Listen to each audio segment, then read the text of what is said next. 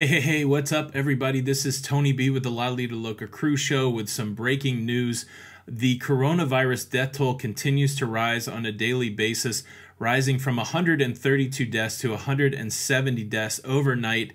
And now, this breaking cruise news out of Italy the Costa Smeralda has been put on lockdown. More than 6,000 passengers refused entry into the Italian port city of Civitavecchia because doctors on board have warned that there is a couple there showing symptoms, potential symptoms of the coronavirus. A 54 year old woman from Macau, one of the locations where the coronavirus has been confirmed, reported to the cruise ship staff last night a fever. She was put in lockdown and quarantined along with her husband as they continue to investigate whether the symptoms that she is manifesting is in fact another confirmed case of the coronavirus. Obviously, the port city there in Italy not taking any chances, and now you have the worst case scenario a possible quarantine on a cruise ship of over 6,000 passengers. It's going to be interesting to see this story developing, just breaking right now about an hour ago.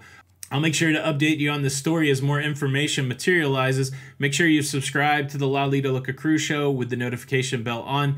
That way you don't miss out on any of the updates. This is Tony B, and until the next time, we'll see you on the Lido.